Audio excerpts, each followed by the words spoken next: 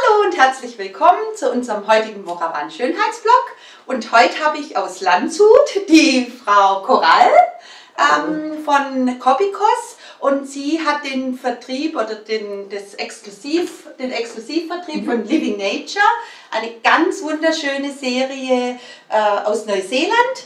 Ja, Frau Korall, erzählen Sie doch mal, was ist Living Nature? Ja, danke für die Einladung, Frau Pasch. Living Nature ist eine Naturkosmetikmarke, eine zertifizierte Naturkosmetik aus Neuseeland. Und das Besondere bei Living Nature sind die Inhaltsstoffe aus Neuseeland. Mhm. Also man sagt auch endemische Inhaltsstoffe, die also ausschließlich in Neuseeland vorkommen, ah. wie Manuka, Manuka Honig, äh, Harakeke, Kumerahu und auch diese Tonerde, die ich Ihnen mitgebracht ja. habe. Äh, das so ist die, sieht es dann aus am Stück. Genau, das ist die Heloisite-Tonerde. Mhm. Äh, und das ist ein Vulkangestein. Und jetzt ja. wundern sich vielleicht manche, warum Vulkan? Ähm, weil einen Vulkan kennt man ja eigentlich als schwarze Lava. Ja. Und es gibt aber auch Vulkane, die implodieren, also die gar nicht ausbrechen. Und ähm, man sieht hier so ein ganz bisschen noch so kleine graue Steinchen drin. Mhm. Also die ist wirklich strahlend weiß, wenn man sie ja. aus der Erde baggert. Und dann wird sie äh, zu einem ganz feinen Pulver zermahlen. Ich weiß nicht, ob man es wirklich erkennen kann. Das ist so zart und weich auf der Hand. Und das Besondere dieser Tonerde ist die Molekularstruktur. Also wenn ich eine normale Tonerde mir unter dem ähm, Mikroskop anschaue, mhm. sehe ich alles kleine verteilte Pünktchen. Ja. Und bei dieser neuseeländischen Tonerde sind es kleine Stäbchen. Das heißt, ah. diese Moleküle wickeln sich auf wie mhm. eine Schnur, wie man das von diesen DNA-Schnüren kennt, und bilden Röhrchen. Und durch diese Röhrchen kann das Produkt, das Fertige, was wir dann als die Cleansing Mask haben, besonders intensiv Schmutzstoffe von der Haut aufnehmen. Ah, okay. Auch die Schwermetalle zum Beispiel. Ja. Also eine ganz intensive Reinigung für die Haut. Mhm, mhm. Das heißt, die Haut sieht nachher feiner aus, zarter. Also ist es vor allem gedacht, ähm, entweder für eine sehr fettige Haut, für ja. eine unreine Haut weil unter anderem ist in dem Produkt auch Manuka-Extrakt drin. Mhm. Ähm, der geht besonders gegen die aknefördernden Bakterien. Okay. Ähm, um dann auch diesen überschüssigen Talg von der Haut zu nehmen, mhm. dass die Haut nicht mehr so unruhig aussieht, nicht ja. so fettig glänzend. Mhm. Sie können es aber auch anwenden bei einer reiferen Haut, ja. die ein bisschen Durchblutung braucht, gerade wenn so ein Jahreszeitenwechsel mhm. ist ah, ja. und die Haut nicht arbeitet, dass man mhm. dann einfach mal so einen Kick von außen ja. gibt. Und gerade wenn man in Städten wohnt, ist es ja eh so, dass man viel zusätzlichen Schmutz auf der Haut hat, mhm. dass man das regelmäßig runternimmt. Ja. Und man merkt dann danach auch, wie die Haut äh, Wirkstoffe richtig gut aufnimmt. Okay, wenn also, sie dann in der mhm. Behandlung sind oder in der Heimpflege zu Hause. Ja. Andere schöne Anti-Aging-Produkte, Serien, Feuchtigkeit, ah. saugt die Haut dann richtig gut auf. Ja, also so eine Art Vorbereitung. Genau. Ich kann es bei der trockenen Mischhaut zum Beispiel auch, auch haben mhm. ja auch viele gut nehmen und kann danach richtig schöne maskenreichhaltige Produkte, Feuchtigkeitsgel, Maske von Living Nature. Die haben so schöne Produkte bei Living Nature und da machen wir dann ein extra äh, Video dann mal mit diesen ganzen Feuchtigkeitsgeschichten. Genau, da bin ich absoluter Freak davon. Ähm, ja, Frau Korall, kurz zur Living Nature. Das ist eine reine Naturkosmetik. Ja, ganz genau. Mhm. Also mhm. die, ich vertreibe die ja jetzt seit 25 Jahren in ah. Deutschland mhm. und seit 2000 gibt es ja das Zeichen über ein BDH für kontrollierte Naturkosmetik und seitdem sind wir auch dabei. Ja. Und äh, es wird regelmäßig auch verbessert. Also alle Produkte, die jetzt rauskommen, sind ja dann unter dem noch strengeren äh, Biozertifikat Kosmos mhm. äh, vorhanden und man sieht es jetzt in den Inkis, kann man es eben sehr schön nachlesen, ja. was drin ist. Jetzt ein Avocadoöl ist noch mit dabei, Macadamia-Nussöl, okay. Nachtkerze. Mhm. also tolle Wirkstoffe, die ja. regulierend wirken.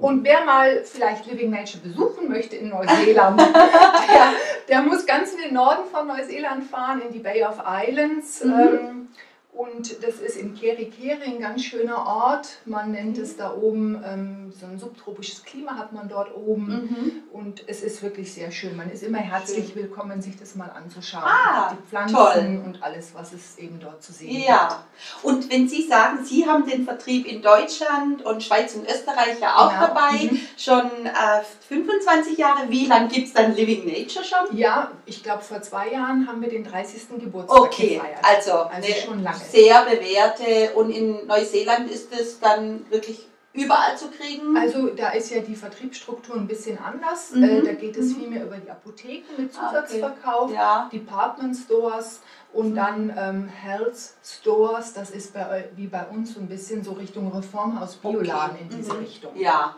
Und dann zeigen wir euch jetzt mal äh, auf einer Seite, wie die Maske so funktioniert. Die Frau Koral wird es bei mir anwenden.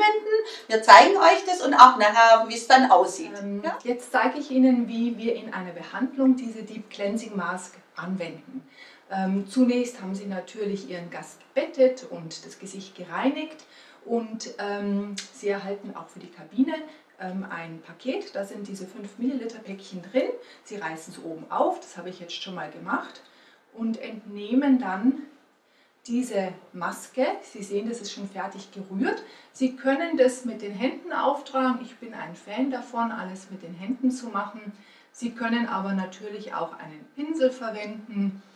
Da gibt es unterschiedliche Maskenpinsel, die Sie nehmen können. Und Sie klären Ihren Gast auf, dass sich das zunächst ein bisschen kühl anfühlt. Das wird die Frau Pasch vielleicht bestätigen können. Aber angenehm. Also erfrischend, sagen wir mal so. Und man braucht jetzt ähm, keine ganz dicke Schicht, so wie Sie das bei dem Model auf dem Poster sehen, sondern es reicht eine dünnere Schicht und das Ganze arbeitet dann. Wichtig ist, dass Sie jetzt Ihrem Gast auch sagen, dass er was spüren kann. Also wir möchten ja natürlich auch bei einer Behandlung, dass die Haut arbeitet und das wird zu spüren sein, vielleicht mit einem kleinen Kribbeln, was sich einstellt oder einem Wärmegefühl. Das ist aber ganz in Ordnung, solange es nicht zu stark wärmt oder zu stark kribbelt. In dem Päckchen ist jetzt immer noch was drin. Also wenn wir jetzt das ganze Gesicht machen, wir können auch dann das Dekolleté noch mitpflegen, dann ist das Päckchen leer. Ähm, Und Sie haben jetzt zwei Möglichkeiten der Vorgehensweise. Entweder lassen Sie Ihren Gast mit der Tonerdemaske ruhen, gerne zwischen 5 und 15 Minuten, je nach Hautbild. Also ist die Haut fettiger und ein bisschen gröber, ähm, sollte die Maske ruhig etwas länger einwirken und arbeiten können. Ist die Haut ähm, trockener, empfindlicher, feiner, reichen vielleicht schon 5 Minuten aus. Und ähm, man wird dann das sehen, dass mit der Zeit die Maske trocken wird, die Feuchtigkeit, die im Produkt ist, die verdunstet mit der Zeit. Und das ist auch genau das, was dann das Arbeiten ausmacht.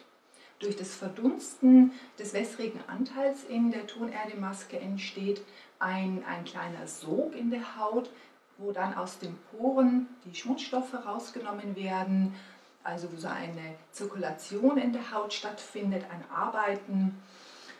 Ähm, Und das regt dann auch an, dass die, die Bakterien, die nicht in unsere Haut gehören, also diese Fremdbakterien, dass die runterkommen.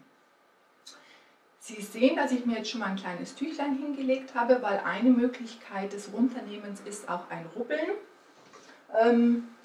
Jetzt müssten wir vielleicht noch mal ein kleines Momentchen warten, bis dann die Maske wirklich angetrocknet ist und wir das rubbeln können.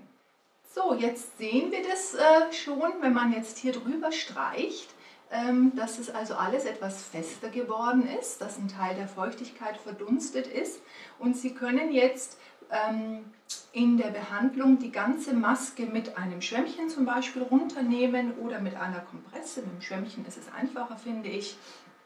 Oder Sie haben eine zweite Alternative, dass Sie es runterpeelen. Also ein Peeling hat dann nochmal den Effekt durch dieses sanfte Rubbeln, dass wirklich die trockenen Hornschüppchen, die oben auf der Haut liegen, dass die ganz mit runtergehen. Und Sie halten dann mit der einen Hand die Haut ein bisschen entgegen und mit der anderen streichen Sie zügig, aber sanft Wir wollen ja die Haut nicht äh, äh, zerren oder ziehen. Und dann sehen Sie, dass die Tonerde ein bisschen wie eine Creme fast einzieht in die Haut. Und dann kommt sie in kleinen Peeling-Knüppelchen runter. Deswegen habe ich mir auch hier neben den Kopf ein ähm, Kosmetiktuch gelegt, wo ich jetzt die Tonerdebrösel auffangen kann. Und durch dieses Rubbeln haben wir nochmal ein ganz intensives Gefühl. So können Sie sehen, dass jetzt die kleinen Tonerdeknüppelchen richtig schön runterkommen. An der Wange halten Sie einfach ein bisschen nach unten und dann ziehen wir nach oben.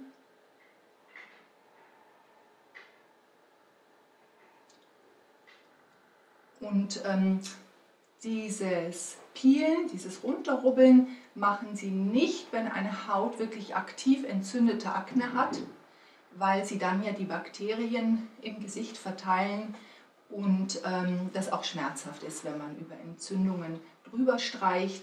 Aber bei allen anderen Hautbildern können Sie es machen. Wir haben zum Beispiel auch sehr schöne Erfolge. So, jetzt sehen Sie mal, wie toll das runtergeht. Es bröselt und bröselt. Vielleicht können Sie auch sehen, wie schön durchblutet jetzt die Haut schon ist, einen schönen rosigen Schimmer bekommen hat. In der Nase gehen Sie einfach entlang der Nasolabialfalte, streichen die Tonerde runter.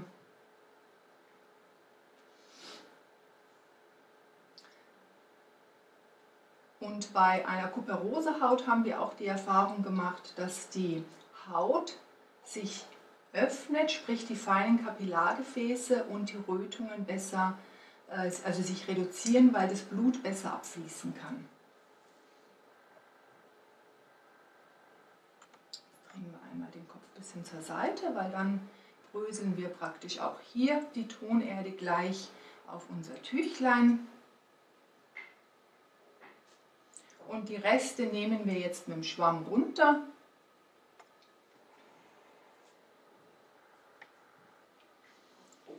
Wir haben jetzt diesen kleinen schönen Naturschwamm.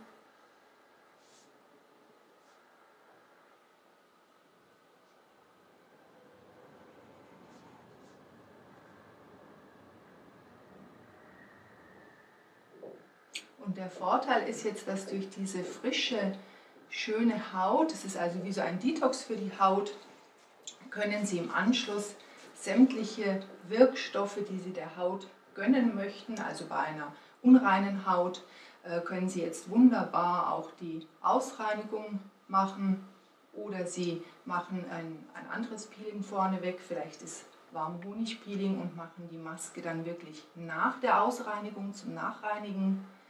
Haben Sie eine reifere Haut, werden Sie merken, dass vielleicht Ihr Gast Ihnen auch bestätigt, dass man jetzt ein ganz frisches Gefühl hat ähm, und äh, das Gefühl hat, man muss ganz viel Feuchtigkeit haben. Also das sind dann eben die beiden unterschiedlichen Bilder.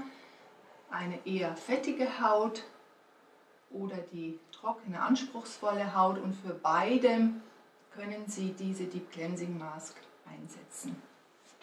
So, jetzt haben wir hier nochmal nachgereinigt mit der Kompresse. Und wir können jetzt dieses Tüchlein mit unserer Tonerde, mit den ganzen Bröseln nehmen wir weg und Ihr Gast liegt wieder auf einem schönen, sauberen Handtuch und kleine Bröselchen, die nachher noch am Haarensatz sind, nehmen wir nachher nochmal mit einem frischen Pinsel runter. So, Frau Pasch, wie ja, geht es Ihnen? Also mir geht es sehr gut. ähm, ich muss echt sagen, das ist ein Unterschied wie Tag und Nacht. Die rechte Seite und die linke Seite, ich fühle mich hier so sauber, so frisch. Also unglaublich und hier fühle ich mich so richtig dreckig. Also es ist eigentlich eine Detox-Maske, oder? Ja, also ja. so fühle ich mich jetzt. Es ist so viel anders. Also ich hoffe, Sie machen mir jetzt die andere Seite, weil so fühle ich mich gar nicht mehr wohl. Und ja, ich freue mich auf noch ganz viele kleine Filme mit Ihnen, weil toll, wie Sie das erklären. Vielen Dank, dass Sie da waren. Ja, das freut mich Und auch. ja, vielen Dank fürs Zuschauen. Tschüss.